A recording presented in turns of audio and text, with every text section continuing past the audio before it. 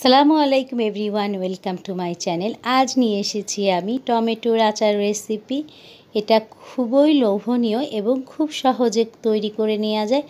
আর এখন টমেটো তো আমাদের হাতের নাগালেই অনেক কমে পাওয়া যাচ্ছে। কোনো প্রকার ঝামেলা ছাড়াই খুব সহজে তৈরি করে নেওয়া যায় এই টমেটোর আচার।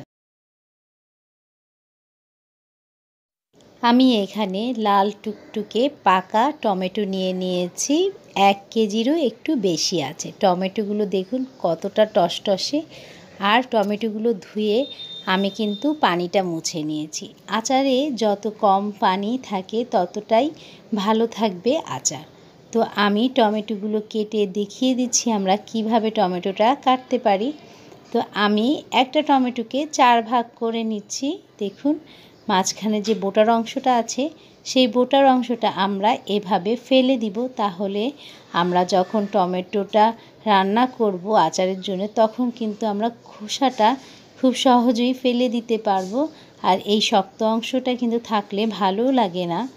তো আমি এগুলো সবগুলো টমেটোর, এইগুলো ফেলে টমেটোটাকে কেটে নিচ্ছি।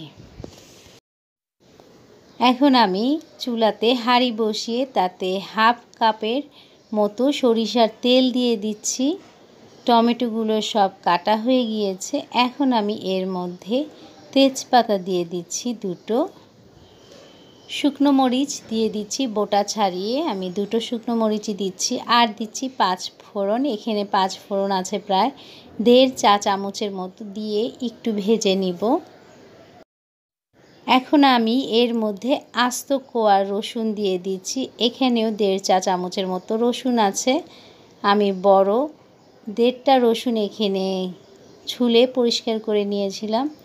এখন দিয়ে দিচ্ছি সরিষা গুঁড়ো। আমি সাদা সরিষা দিয়ে দিচ্ছি। সরিষাটা আমি ব্লাইন্ডারে গুঁড়ো করে নিয়েছি। প্রায় দেড় চা চামচের মতো সরিষা গুঁড়ো আছে। আপনারা চাইলে সিরকা দিয়ে বেটে নিতে পারেন। আমি সিরকা দিয়ে দিলাম প্রায় তিন টেবিল চামচের মতো। দিয়ে সিরকাটা না দিলে কিন্তু মশলাগুলো পুড়ে যাবে। মরিচের গুঁড়া দিয়ে দিচ্ছি হাফ চা চামচ পরিমাণ, হলুদের গুঁড়াও হাফ চা চামচ পরিমাণ।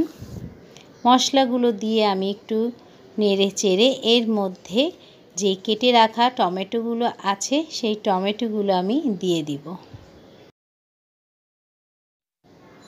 টমেটোগুলো দেওয়ার পরে নেড়ে চেড়ে এর মধ্যে আমি টেস্ট অনুযায়ী লবণটা দিয়ে দিচ্ছি। লবণ কিন্তু খুব কমই লাগবে। আমি প্রায় হাফ চা চামচের একটু বেশি দিয়ে দিয়েছি। দেওয়ার পর কিছুক্ষণ নেড়ে চেড়ে আমি এর মধ্যে চিনি মিশিয়ে দিচ্ছি। চিনিটা প্রায় তিন টেবিল চামচ চিনি দিয়ে দিলাম। চিনিটা কিন্তু আপনারা আরও পরে দিতে পারেন। তো আমি আগেই দিয়ে দিয়েছি, কোনো সমস্যা নেই। দিয়ে নেড়ে চেড়ে এখন বেশ কিছুক্ষণ রেখে দেব যাতে টমেটোটা সেদ্ধ হয়ে যায়। দেখুন, আমার টমেটোটা প্রায় সেদ্ধ হয়ে গিয়েছে। এই পর্যায়ে কিন্তু টমেটোটা আপনারা ভেঙে ভেঙে দিতে পারেন যতটুকু দরকার। আমি বেশি ভাঙবো না, কারণ টমেটোটা একটু আস্তে আস্তে রাখব।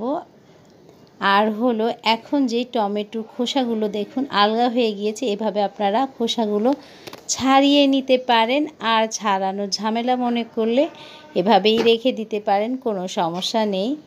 তো আমার ভালো লাগে না দেখে আমি উঠিয়ে নিচ্ছি।